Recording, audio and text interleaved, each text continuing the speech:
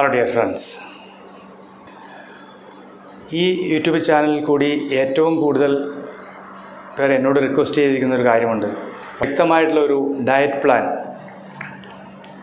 വയറും വണ്ണവും എത്രയും പെട്ടെന്ന് കുറയ്ക്കുവാൻ പറ്റിയൊരു ഡയറ്റ് പ്ലാൻ അത് കൃത്യമായിട്ട് പറഞ്ഞു കൊടുക്കണം. ഒത്തിരി പേരുടെ ആവശ്യമായിരുന്നു അത്. ഞാൻ വർഷങ്ങളോളമായിട്ട് നല്ല കൃത്യമായിട്ട് ഡയറ്റ് പ്ലാൻ ഫോളോ ചെയ്ത് ഒരുപാട് ഇന്റർനാഷണൽ മത്സരങ്ങളിൽ മത്സരിക്കുകയും മെഡൽ നേടുകയും ചെയ്തിട്ടുള്ള വ്യക്തി തന്നെയാണ്. ഡയറ്റ് ഫാറ്റ് കുറയ്ക്കലിനെ കുറിച്ച് ഏറ്റവും ആധികാരികമായത് അറിയേണ്ടത് ഞങ്ങളെ ഞങ്ങളെപ്പോലുള്ള പ്രൊഫഷണൽ ബോഡി ബിൽഡേഴ്സാണെന്ന് ഞാൻ പ്രാവശ്യം പറഞ്ഞിട്ടുണ്ട്. ഒരു ഇന്റർനാഷണൽ മത്സരം വരുന്നതിന് മുമ്പ് സെലക്ഷൻ ട്രയൽ നടക്കുന്നത് രണ്ടോ മൂന്നോ മാസത്തിന് മുൻപായിരിക്കും. അപ്പോൾ ഞങ്ങൾ തീർച്ചയായിട്ടും നല്ല ഫാറ്റൊക്കെ കയറ്റി നല്ല ബൾക്ക് ബോഡിക്ക് ബൾക്ക് ചെയ്ത് നിർത്തിയിരിക്കുന്ന സമയമായിരിക്കും. മൂന്നോ നാലോ ഇഞ്ചോളം ഫാറ്റ് കുറയ്ക്കേണ്ട അവസ്ഥയിൽ ഇരിക്കുന്ന സമയങ്ങളിൽ പെട്ടെന്ന് ഒരു ഇന്റർനാഷണൽ അല്ലെങ്കിൽ വേൾഡ് മത്സരങ്ങൾക്ക് പോകണമെന്ന് പറയുമ്പോൾ ഞങ്ങൾ അതിനു വേണ്ടിയിട്ട് അനുവർത്തിക്കുന്ന ഭക്ഷണ രീതിയുണ്ട് കൃത്യമായ ഡയറ്റ് പ്ലാൻ ഫോളോ ചെയ്യും. അത് കറക്റ്റ് മത്സരത്തിന് മുൻപ് ഒരു ഒന്നൊന്നര ഇഞ്ചോളം തിക്നെസ് വരുന്ന തൊക്കിന്റെ ഉള്ളിലുള്ള ഫാറ്റ് അത് പ്ലാസ്റ്റിക് പേപ്പറിന്റെ വളരെ പേപ്പർ തിന്നായിട്ട് വരുത്തുന്ന അത് ഞാൻ ഫോളോ ചെയ്തിരുന്ന ഒരു ഡയറ്റ് പ്ലാൻ ഉണ്ടായിരുന്നു. പക്ഷേ അത് പബ്ലിക്കിന് ഞാനിങ്ങനെ ഒരു വീഡിയോ കൂടി ചെയ്യുമ്പോൾ അതുകൊണ്ട് അതിന്റെ കൃത്യത ഞാൻ ഉറ- ഉറപ്പുവരുത്തേണ്ടതുണ്ടായിരുന്നു. അപ്പം അത് അതുകൊണ്ട് തന്നെ എന്തെങ്കിലും ദൂഷ്യങ്ങൾ ഉണ്ടാകുമോ മറ്റുള്ളവർക്ക്? ഇനിയും അത് വ്യക്തമായ റിസൾട്ട് മറ്റുള്ളവർക്കും സാധാരണക്കാർക്കും ഇതുകൊണ്ട് റിസൾട്ട് ഉണ്ടാകുമോ എന്നെല്ലാം ഞാൻ ചെക്ക് ചെയ്യാണ്ടുണ്ടായിരുന്നു. അപ്പോൾ അതുകൊണ്ട് തന്നെ ഞാനിത് വീഡിയോ ചെയ്യാതിരുന്നതിന്റെ കാരണം അതായിരുന്നു. പക്ഷേ ഞാനിപ്പോൾ കഴിഞ്ഞ കുറേ കാലങ്ങളായിട്ട് ലോകത്തിന്റെ വിവിധ ഭാഗങ്ങളിലുള്ളവർക്ക് ഓൺലൈൻ ക്ലാസ്സുകൾ diet class body building class ഒക്കെ ചെയ്തു ചെയ്യുന്നുണ്ടായിരുന്നു.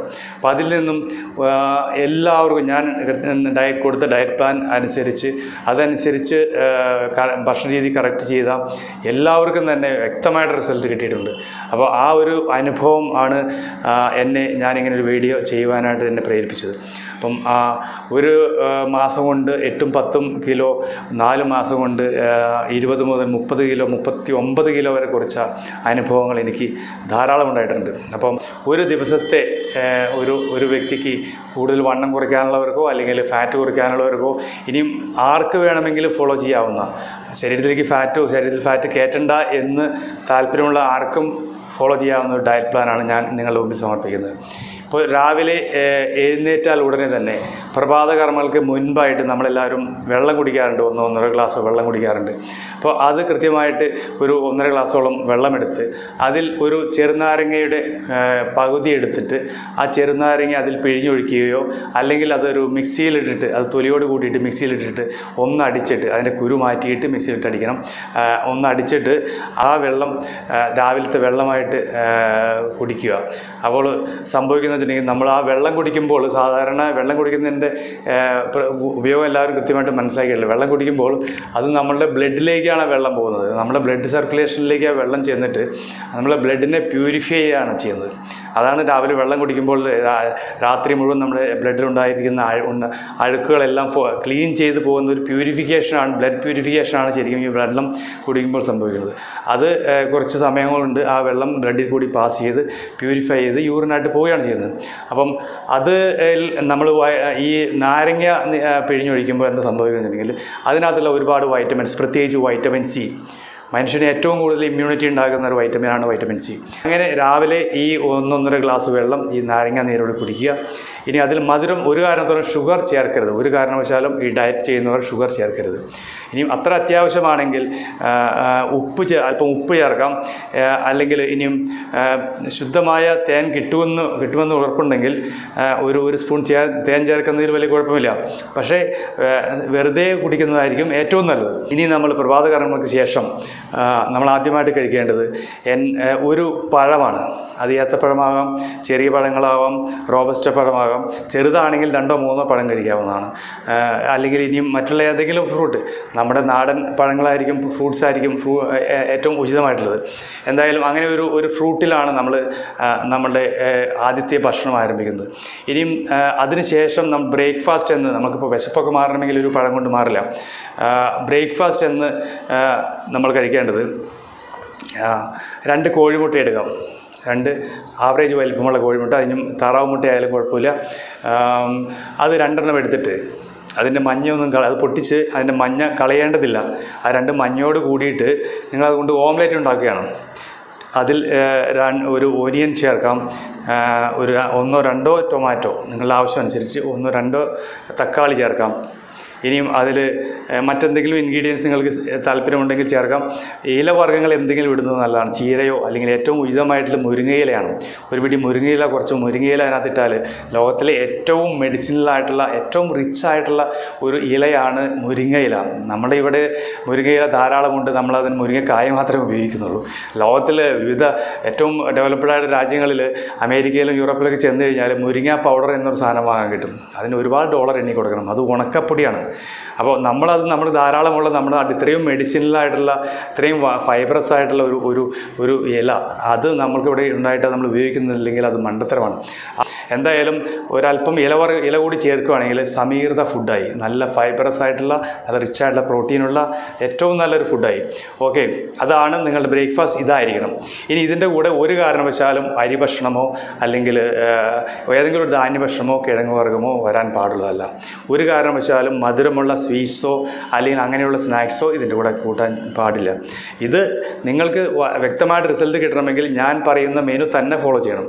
ഓക്കെ ഇനി നമ്മൾ ലഞ്ചിന് മുൻപ് നമുക്ക് ചിലർക്കൊക്കെ എന്തെങ്കിലും സ്നാക്സ് കഴിക്കുന്ന ഒരു ശീലമുണ്ടാവും.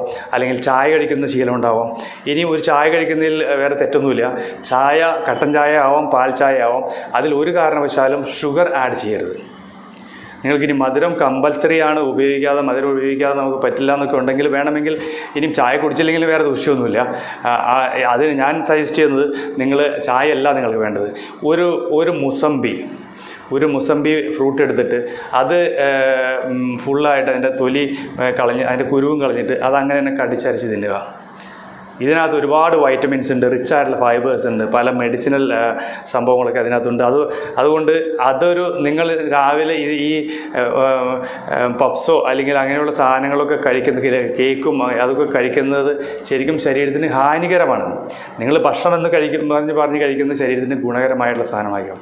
അപ്പോൾ ഞാൻ സജസ്റ്റ് ചെയ്യുന്നത് ഒന്നുകിൽ ഒരു മുസമ്പി ഫ്രൂട്ട് അല്ലെങ്കിൽ ഒരു ഓറഞ്ച് ആവാം ഇത് ഒന്നിൽ കൂടുതലാവാൻ പാടില്ല. ഓക്കെ ഇത് ഒരു സ്നാക്സ് ആയിട്ട് വേണമെങ്കിൽ കഴിക്കാം. കഴിച്ചില്ല എന്ന് ചോദിച്ച് പ്രത്യേകിച്ച് കുഴപ്പമില്ല. പക്ഷേ നല്ലതാണ് ഒരു ഇതിന്റെ ഇടയ്ക്ക് ഒരു ഒരു ഓറഞ്ച് ഫ്രൂട്ട് കഴിക്കുന്നത് നല്ലതാണ്.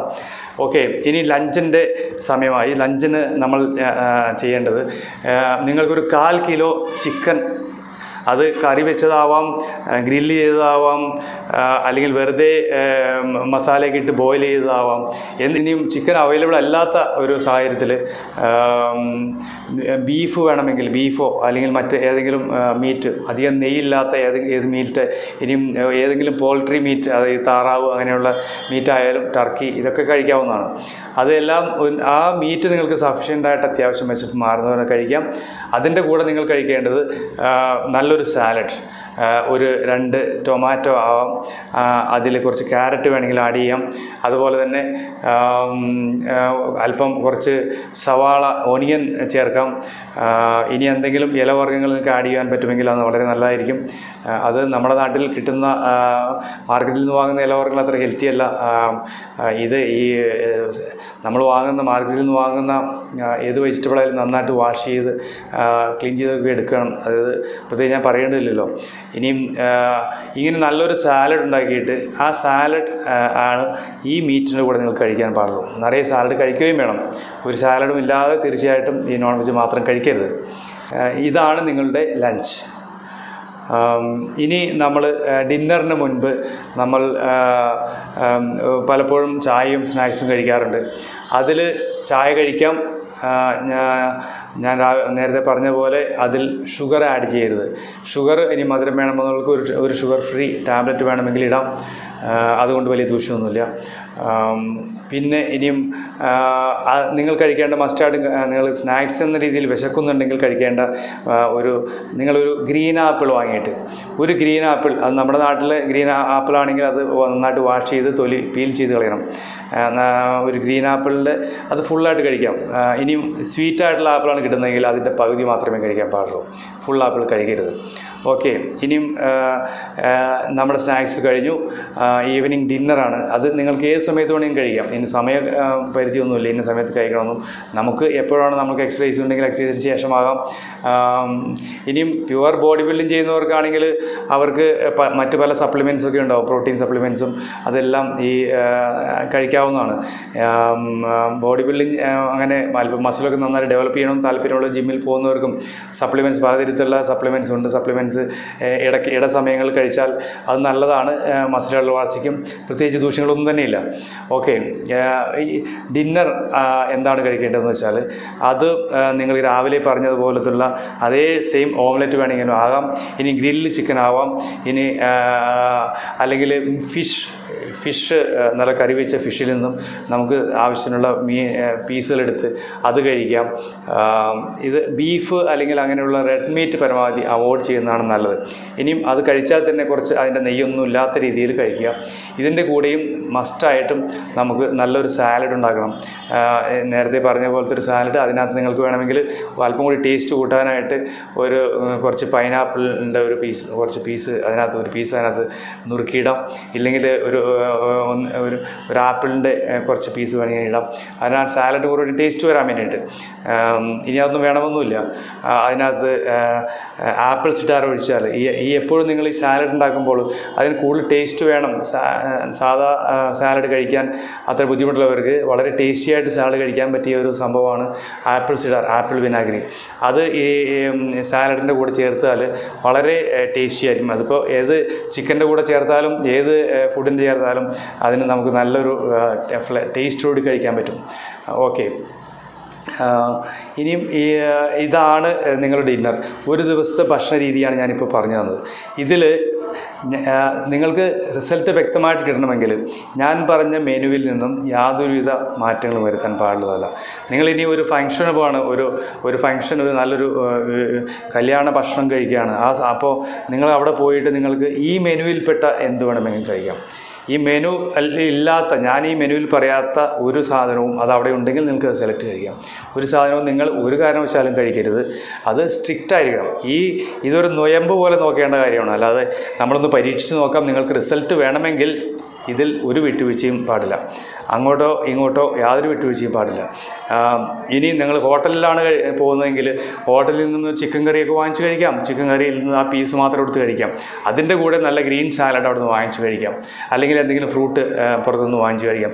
ഇതല്ലാതെ നിങ്ങൾക്ക് ഇഷ്ടമുള്ള പരമാവധി സദ്യകൾക്കൊക്കെ പോവാതിരിക്കുകയായിരിക്കും നല്ലത്. കാരണം അത് നമ്മൾ മറ്റ് എല്ലാവരും കഴിക്കുമ്പോൾ നമുക്ക് അതിന്റെ കൂടെ അവിടെ നമ്മൾ നിൽക്കും. അവിടെ പല ഐസ്ക്രീമും പല സാധനങ്ങളൊക്കെ നമ്മൾ എടുത്ത് കഴിച്ചു പോകും. നിങ്ങൾ ഡയറ്റ് ചെയ്തതിന്റെ ഒരു ആ നൊയമ്പ് നൊയമ്പ് എന്ന് പറയുന്നത് അത് ആ പേര് തന്നെ നമ്മൾ അതിനകത്തുള്ള ഡിസിപ്ലിൻ സ്ട്രിക്റ്റ് ആയിട്ട് പാലിക്കാൻ പാലിക്കാൻ വേണ്ടി ഡിസിപ്ലിൻഡായിട്ട് അത് തുടർച്ചയാ തുടരാൻ വേണ്ടിയിട്ടുള്ള ഒരു ഒരു വാക്കാണ് ഈ നൊയമ്പ് എന്ന് പറയുന്നത്. അപ്പോൾ അത് തന്നെയാണ് ഞാനിവിടെ ഉപയോഗിക്കുന്നത്. നിങ്ങളൊരു നൊയമ്പായിട്ട് തന്നെ എടുക്കണം. എങ്കിലേ നിങ്ങൾക്ക് റിസൾട്ട് കിട്ടുള്ളൂ.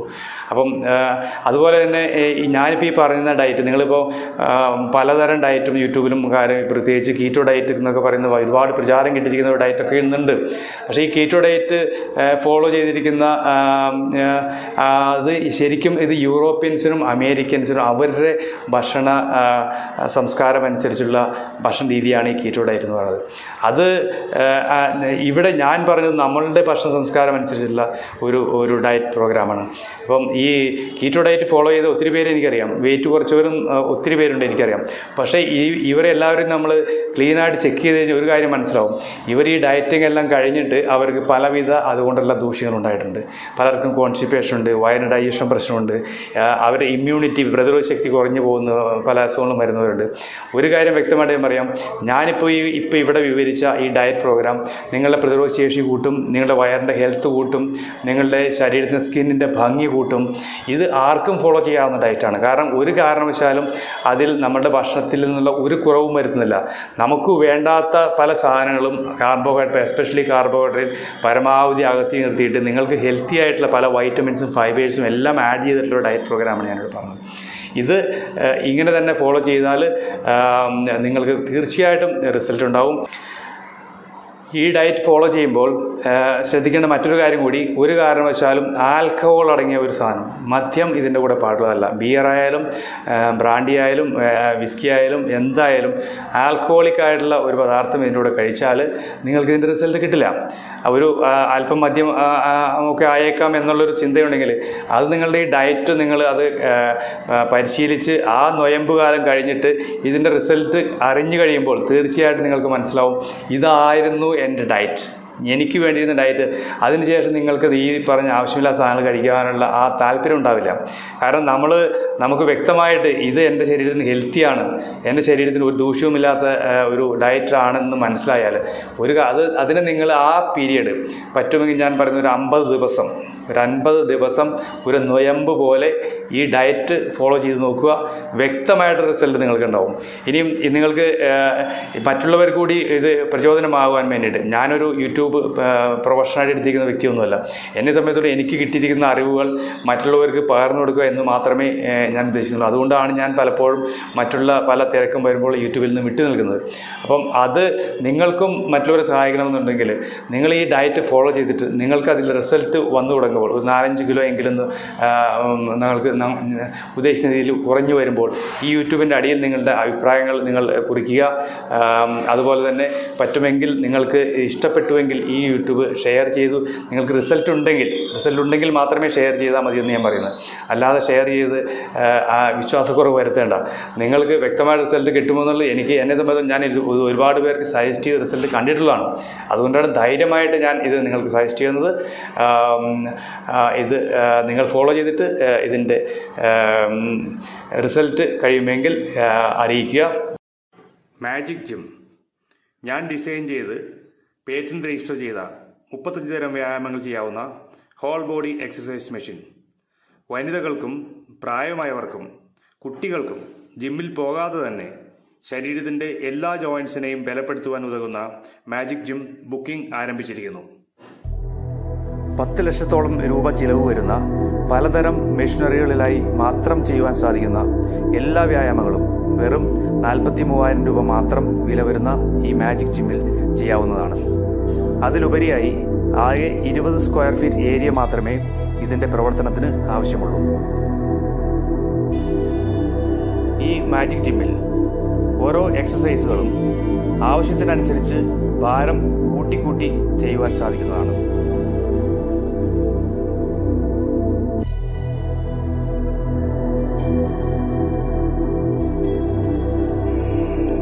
വയറിനുള്ള എക്സസൈസ് ആയാസമില്ലാതെ തന്നെ ഈ മെഷീനിൽ ചെയ്യാവുന്നതാണ്.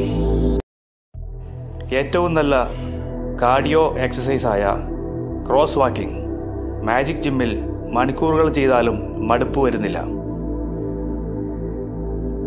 നടത്തിയേക്കാൾ ഉപരി ശരീരത്തിന്റെ എല്ലാ ഭാഗങ്ങളും ഒരേപോലെ വർക്ക് ചെയ്യുന്നു.